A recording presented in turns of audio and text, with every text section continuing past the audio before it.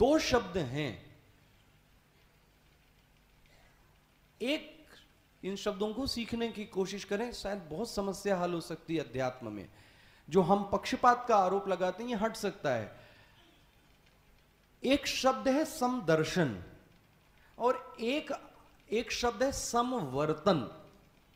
ध्यान से समझना। एक शब्द है समदर्शन, और एक शब्द है समवर्तन। भगवान ने कहीं नहीं लिखा है कि मैं समवर्तन करूँगा। भगवान बोलते हैं समवर्तिन। देखो जी, शुनि चैव स्वपाके च पंडिता समदर्शिन। समवर्तिना नहीं कहा है। समवर्तिना मतलब एक जैसा व्यवहार और समदर्शिना मतलब एक जैसी दृष्टि। भगवान ने ये कहीं नहीं कहा कि मैं सबसे एक जैसा व्यवहार करूँगा, लेकिन सभी के प्रति मेरी दृष्टि एक होगी। कोई भक्त पूछ सकता है, महाराज, ये कैसे समझूं समदर्शन और समवर्तन? मैं आपको एक दृष्टांत दूँ। आप एक डॉक्टर के पास गए। अब जब डॉक्टर बैठा है तो उसके केबिन के आगे ना पाँच मरीज़ बैठे हैं। तो एक का सिर सिर दुख रहा है, एक का पेट दुख रहा है। एक का पैर दुख रहा है, एक का कान दुख रहा है, एक नाक दुख रही है, सबका कुछ कुछ दुखी रहा है और सब बैठे पड़े हैं, दुखी आत्मा जितने।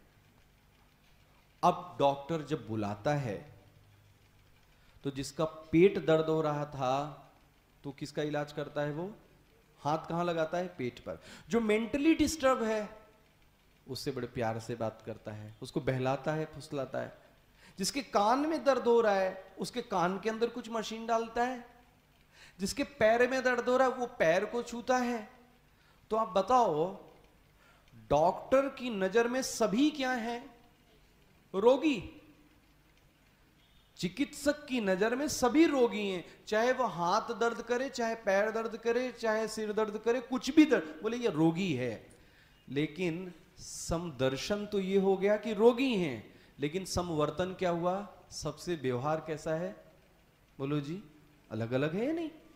अब वो तो नहीं कहेगा कि मैंने पहले वाले के कान में मशीन डाली तो मैं दूसरे वाले के में भी डाल दूँगा। तो आप बोलोगे, ये कैसे कर रहा है?